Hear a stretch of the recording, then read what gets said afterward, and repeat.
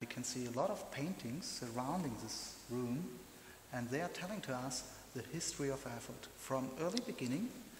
The first painting, um, maybe you can see there's a monk standing next to a cutted oak tree, Yes. yeah, and his name is Saint Boniface. Ah. Uh, originally only Boniface, later he became saint. Yes. Yeah, and he was the greatest missioner of yeah, Look a little, large parts, look a little closer here, Matthias. Yeah. Yeah. And St. Boniface, he came 741 to Erfurt, and he impressed people by cutting off an oak tree, because um, the oak tree was holy to the old German goods, for Donar, for example, and any bad guy who was cutting off oak trees, normally it was to expect, was killed by a lightning bolt, by Donar, yeah, as punishment, Yes. as retreat. But Boniface, he was able to cut off oaks, and no lightning bolt came down to the ground and killed him, and so the person started to learn Christian blood must have been the stronger ones. Donar is not the strongest. He's not able to kill this funny man. And so St. Boniface started to preach Christianity, to taught them Christianity, and he wrote a long letter to the Pope in Rome, 742, and he asked him to uh, found a new bishopric here. And he made out of Erfurt, of a small city, he found a new bishopric, and that's the first written record of Erfurt, of the name Erfurt. Yeah, our first historical record. And the next paintings are dealing uh, of two saints, Saint Martin and Saint Elizabeth. Not so important, maybe, but the third one. There is shown to us an emperor with a long red beard. That's Barbarossa, or better, Frederick the First. That's this one or this one? That's the left This one. one, right, yeah. That's the one who's standing. Yes. And another guy is kneeling right before him. Yes. That's Duke Henry. And he has done something wrong. He has broken different promises.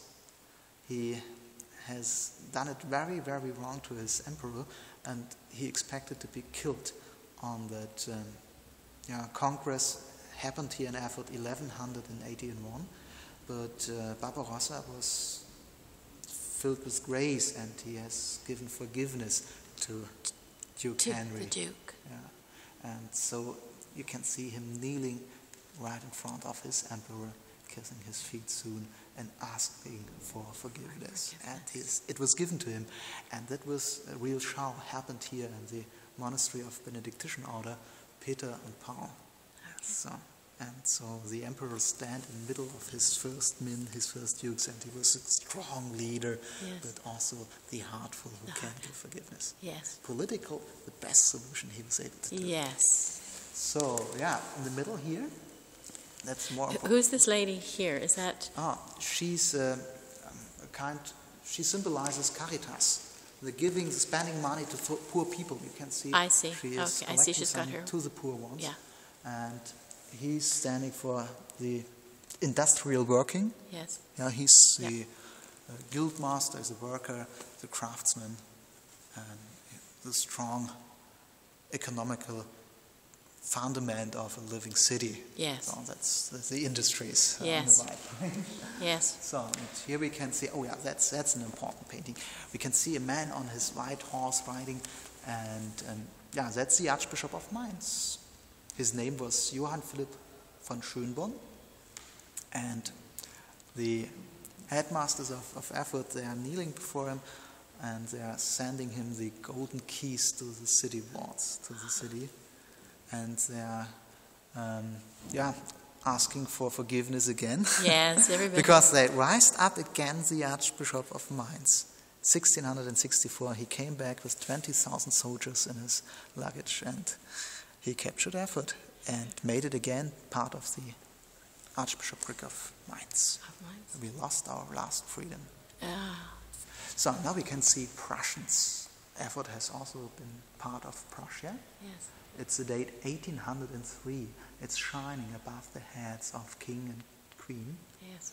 It's um, Frederick Wilhelm the Fourth. Yes, third. Sorry, Frederick Wilhelm the Third, and Queen Louise.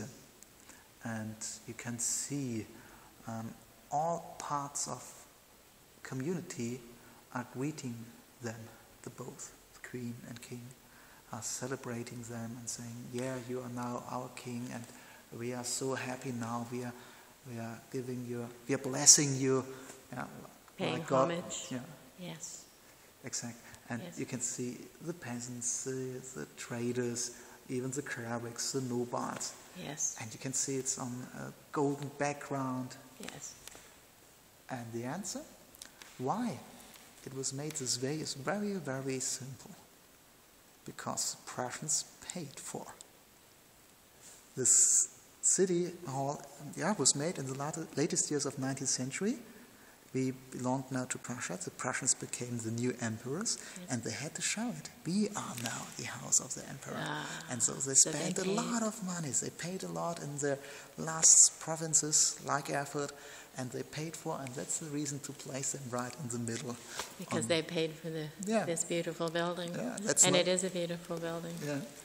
It And the last is. one, uh, that's not so happily, because um, for a couple of years we belonged to France. We were owned by Napoleon Bonaparte, Yes. and now it's shown to the visitors of this room how the people of Erfurt are so happy to free from uh, French government. Yeah. Uh, so there's a killed French soldier, and they're destroying a memorial to, dedicated to Napoleon Bonaparte Yeah.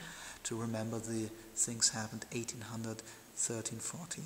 Ah. Yeah, that's, that's what I'm calling the glasses of time. Yes. Yeah, we are Yeah. writing now 1880s, Yes.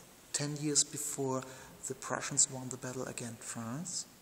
We saw it was the refounding of the German Empire again in Paris. Mm-hmm, And so they are remembering anytime we beat the French people.